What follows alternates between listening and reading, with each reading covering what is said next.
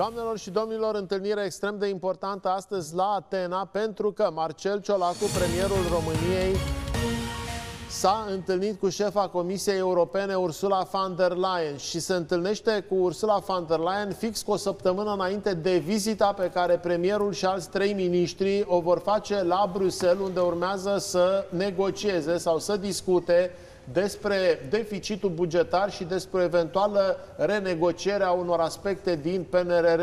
Despre întâlnirea de astăzi de la Atena dintre premier și Ursula von der Leyen aflăm uh, detalii de la Vasile Marcu. Bună seara, Vasile!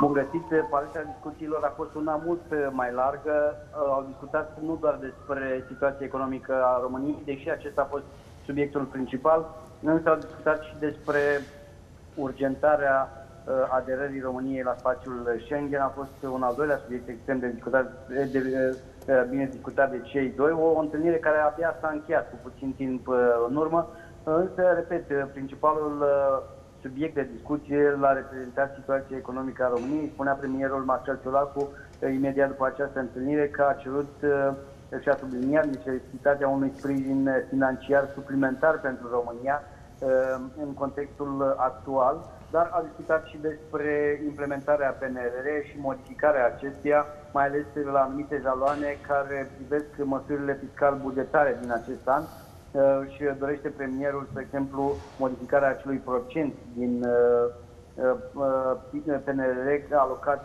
pentru pensii, 9,4% din PIB, își dorește modificarea acesteia, eliminarea mai bine zis, de un an încearcă această eliminare a procentului de 9,4% din uh, PIB, iar în situația financiară actuală și cu războiul la graniță, uh, sunt informații din guvern că a reușit totuși uh, să convingă Comisia să elimine acest galon. De asemenea, își dorește premierul să convingă conducerea Comisiei depășirea deficitului bugetar la sfârșitul anului. Acum avem un deficit angajat cu Comisia și de, de 4,4% din PIB, un deficit pe care l-au stabilit încă din iarna trecută, iar acum își doresc să fie depășit cu cel puțin un procent, poate 5,7 chiar la sfârșitul anului, pentru a avea mai mulți okay. bani cheltuiți în ultimele trei luni.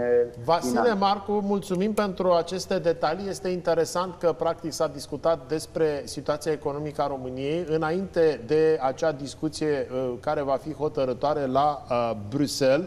Uh, înțeleg că acolo la Atena a apărut uh, și președintele Ucrainei Volodymyr Zelensky, Mircea. Eu? Eu nu. Tu n-ai fost la Eu n-am fost la Atena. Păi deci, nu, eu, eu spuneam e... că a fost Ciolacu sigur, n-am văzut. Doamna ok, mie vine totuși, eu nu contest. Poate că e cum, adică nu, dânsul are dreptate, domnul uh, Marcu. Mie, mie e greu să accept, să, să, să cred în totalitate, pentru că, având în vedere uh, preocuparea, eu, doamna Ursula von der Leyen, și nu spun în niciun fel peorativ, doamne, o susțin, doar remarc, deci n-a avut decât o singură preocupare. Nu mai făceți tot cu degetele. Că vine Pavel little Popescu finger, și mică, stau așa, da. finger. Uh, deci a avut o, o preocupare da. exclusivă. Una, Ucraina. Da. Eu n-am văzut nicio comunicare a doamnei Ursula von der Leyen pe altă temă sau alt subiect.